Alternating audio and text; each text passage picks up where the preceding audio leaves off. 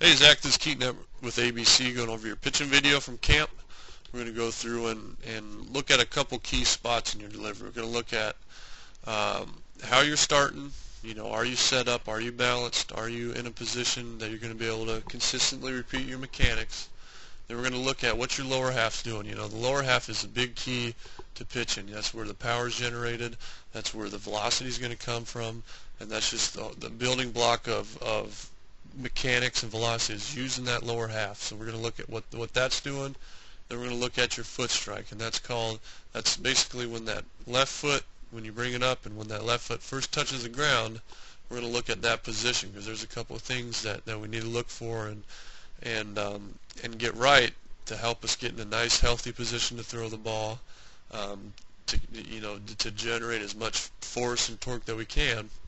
And then lastly, we're going to look at um, how you're finishing. So you, uh, you know where you're releasing the ball, um, and just if you're getting down over that front foot. So so you know pitching first and foremost, pitching is a very complex movement.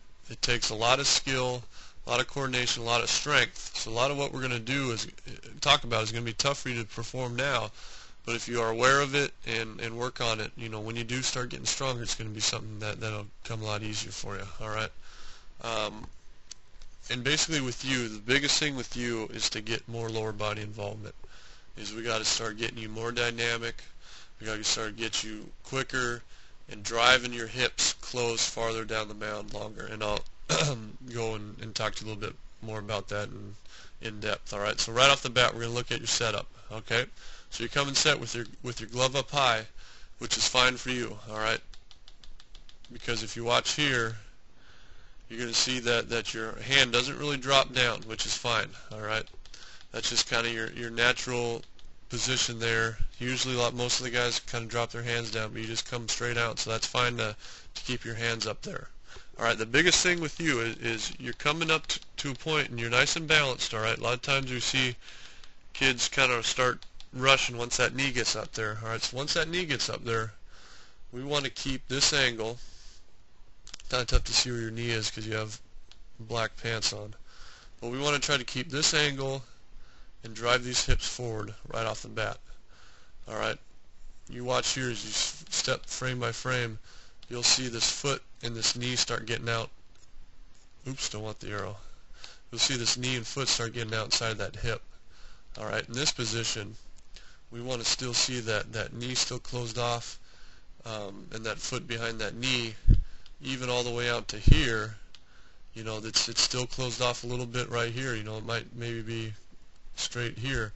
But we just want to make sure that, that this leg doesn't lead our, our body. You know, we don't want this leg to lead our mechanics. We want these hips to lead everything. We want them to stay closed as long as we can, you know, so that front leg's not even popping open until maybe even down here. You know, now that leg's starting to pop open, you know, somewhere around here, so you're just storing up more energy in those hips um, to generate more power and, and, speed and torque down below. All right, so that's just uh, that'll be a big thing. Is just you know come up, come set. You know if you're doing a drill, just hold this position and then just feel yourself drive that hip, drive that back pocket down the hill instead of letting that left foot kind of lead and pop open.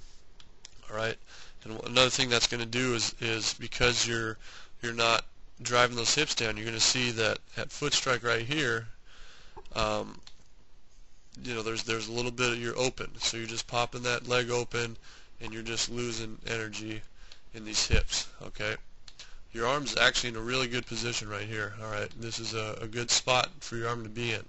A lot of times, if we see it in here, or you see that elbow down below, you know that that's puts yourself in a risky position for injury. So you have a you have a good good spot with with your arm right here. So that's that's good to see. Uh, your body's staying back over that back side, which is which is awesome too. And now it's just a matter of of keeping those hips closed longer, farther down the hill, um, and that's going to help you out a lot. all right, so that's that's your foot strike, and then through your release, another thing you're doing well is this is a pretty solid position for release. Your back foot's turned all the way over. You have a nice angle. You know, the the more that you're going to able to utilize your hip, the more speed you're going to be getting and more power down the hill, you're going to start seeing this get even farther down. You're going to start seeing that head and that chest get out over that, that front foot a little bit more um, to deliver the ball closer, all right? And that's just a matter of just of just you know not using enough lower body, and you'll see by your finish, you know that foot just kind of stays on the ground and doesn't really kick up at all. We want to try to get so much power and torque that once we release, that body falls through. This this foot's just going to start driving up over that backside. It's going to kick up over your head. You know, in, in this position, you're going to see your your body maybe over here, and you know your your foot, you know, straight up back over here. So it's just like a you know you're almost a flat board instead of just kind of you know throwing and then finishing over that backside. We want to try to have all our energy throwing. So when we finish, you know, we're kind of almost going forward a little bit instead of as you finish, you kind of see yourself kind of falling backwards. And all that is is just, is just lower half. All right. So just the biggest thing is is just get to a point where you're feeling yourself able to drive your hips down the hill. To to keep that knee closed longer. All right. So again, so back backing up here, you know, here you you you really stride really far open. You know, you, you're seeing yourself really plan open, and all that does that just opens yourself up. That loads the shoulder up with a little more load. Um, so we just want to make sure that you're here, and this is what's leading down the hill.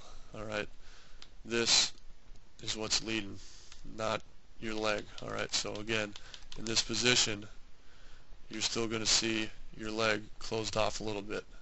All right, so just don't reach out with that left foot.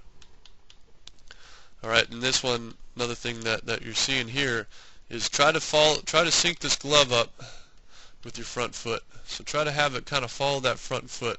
You never, you see that it never really gets out in front of your body. It kind of swings and then rotates over the side. We want to try to get it out at foot strike, especially at foot strike, we want to try to get that glove out here, all right, and then you got a nice little angle in that elbow, gloves below the elbow, and then you start rotating out, and that's going to help you get your head and your chest out over that front foot a little bit more. So just lock that, just let that glove kind of follow that front side a little bit. Let that glove get out there, but we'd want to keep that, that elbow above the glove until we rotate. All right, so that elbow stays above the glove.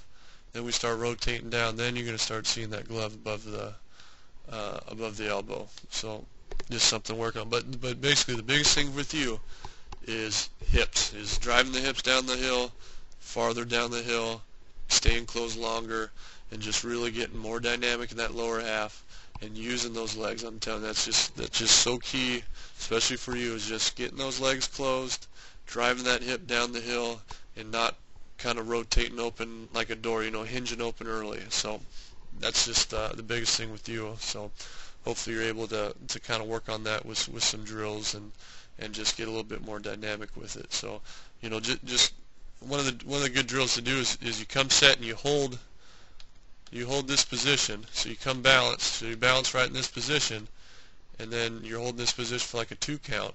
Then you just start with those hips. Just drive those hips down as far as you can. This left leg's going to pop open on its own. You're, you're not going to have to do anything. It's going to naturally pop open and just kind of work on that and really feel yourself finishing out over that front foot. So anyways, hopefully you had a great time at camp. Thanks for coming out and I hope you're having an awesome season. Uh, we look forward to seeing you again with ABC.